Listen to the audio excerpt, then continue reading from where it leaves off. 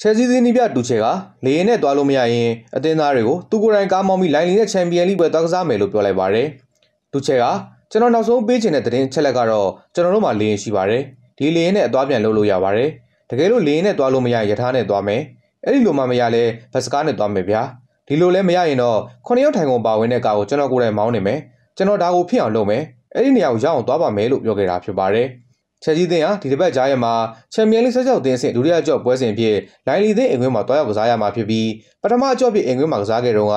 ချက်ကြီးသင်းဟာနှစ်ကိုးကိုမရှိနဲ့နိုင်ရရှိခဲ့ပါတယ်။အဲဒီနောက်အသင်းမရှိအေဘရာမိုဗစ်ကိုဗြိတိန်အစိုးရကဒဏ်ခတ်ပိတ်ဆို့ခဲ့တာကြောင့်ချက်ကြီးသင်းဟာအဝေးကွင်းကိုခီးထွက်ပြီးတွားရောက်ကစားရတဲ့ပွဲတွေမှာအသုံးစရိတ်ကိုအကန့်အသတ်နဲ့သာသုံးစွဲရမှာဖြစ်ပါတယ်။ချက်ကြီးသင်းဟာပိတ်ဆို့မှုတွေခံနေရပေမဲ့အထူးလိုင်စင်နဲ့ပွဲတွေဆက်လက်ရှင်ပြိုင်နေရတာပါ။